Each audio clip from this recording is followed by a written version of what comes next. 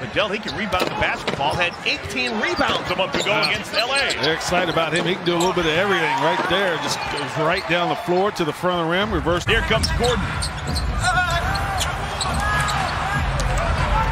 Giddey has it. Giddey, coast to coast.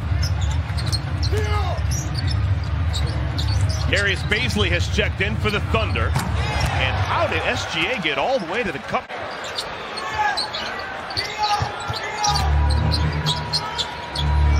Missed his last three badly. This one is is to be able to do an interview and get all your sponsors in. He did. Monster Energy, Toyota, all the guys back at the shop. That it takes a certain skill set. Williams. That stops the bleeding. And we still have two and a half remaining in our second quarter. Nice hang and hit by Gilgeous-Alexander. This guy's a professional scorer. Uh, every player, every, everybody's got nagging here, a soreness there. You need guys available just in case a guy isn't feeling it on a certain night. Oh my goodness, are you kidding me?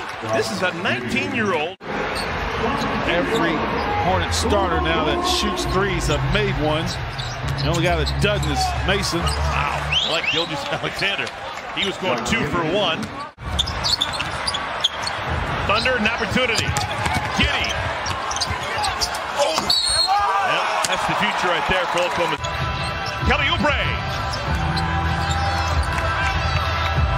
Ahead of the pack, Wiggins. Understanding we got to get a good look. Ashley got that wonderful interview at the half. He said it's all about the hair.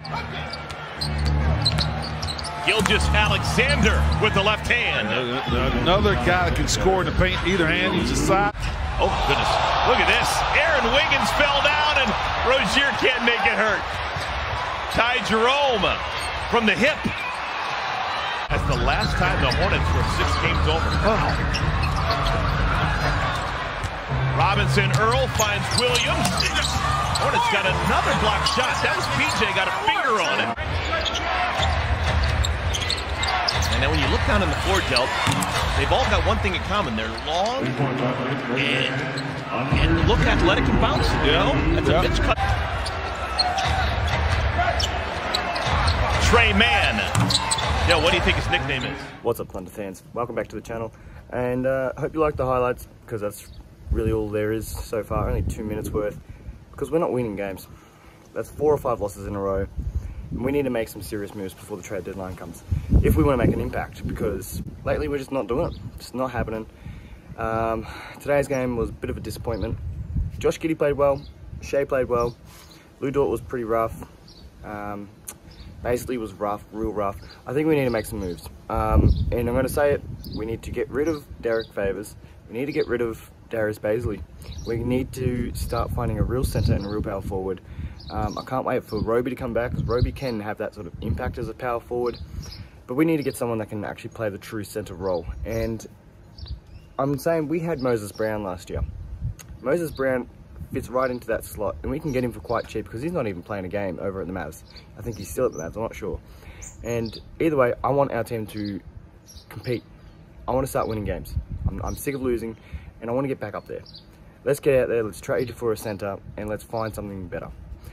Positive notes, Josh Giddey shot pretty well today. Shai shot pretty well.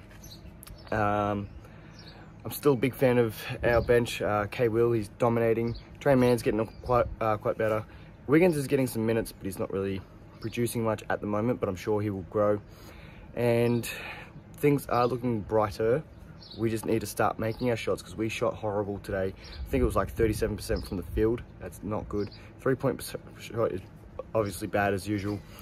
Um, rebounding, we lost the rebounding battle by like 10 rebounds. So we just need to get need to get better.